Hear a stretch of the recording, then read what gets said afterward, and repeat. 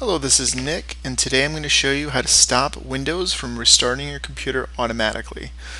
Um, this is going to be a registry tweak or setting that we're going to add or change um, that is going to stop Windows from re restarting your computer automatically. This will work on Windows 8 and Windows 7, uh, Home Edition, Professional, doesn't matter. Um, there are separate ways you can disable this in Windows XP and Windows Vista, but I won't show you that today. This is not going to stop your Windows from updating, so it'll still automatically update. It will just stop the automatic restart part. So that's can be a pain if you are working on a project and you walk away and you come back, your computer's restarted.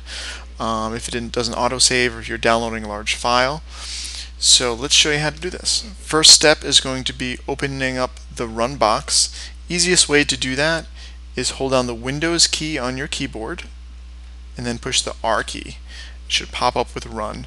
If you don't see that, another way to do that is go to start and then you can just type in the word run and click enter. That should also pop up the run key.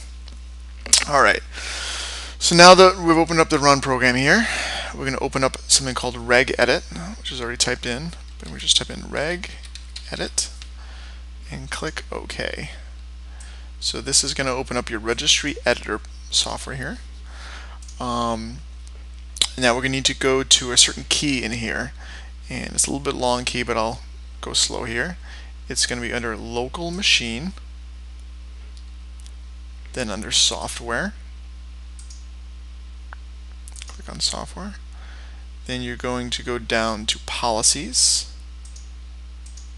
Click plus on that. Then you're going to go over to Microsoft. Then you're going to go under, under Windows. Now, some people might see a Windows update, other people's won't.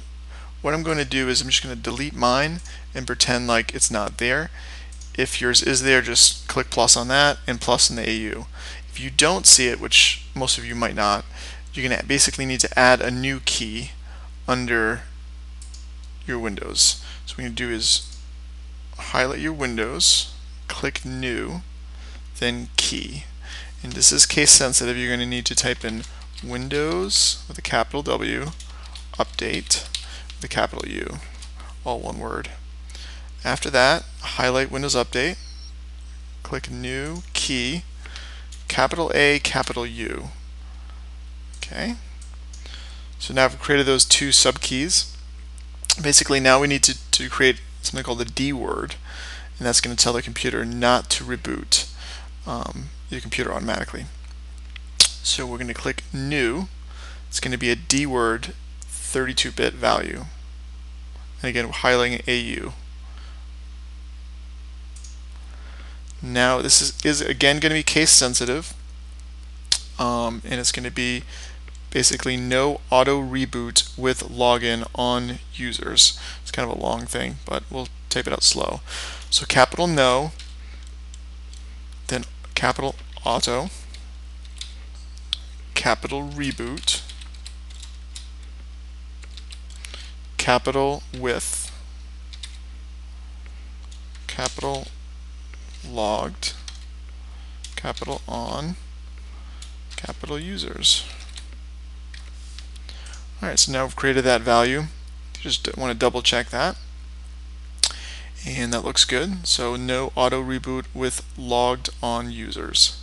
So now we're going to basically, this tells the computer to not reboot the computer, but right now it's still set at zero or don't enable this feature. We're going to need to change this hex value to 1, which tells the computer, yes, enable this feature. So we're going to click modify. Right now it's want to check, double check, make sure it's on hexadecimal value. It's set for 0 now. We're going to change this to 1. I'm going to click OK. And basically now we've just told the computer to no longer auto reboot the computer after a Windows update. Um, so now that this is done, we could just get out of the registry editor and we can just restart the computer and you're good to go. It'll still auto update, but it just won't auto restart your computer. Alright, thanks for watching.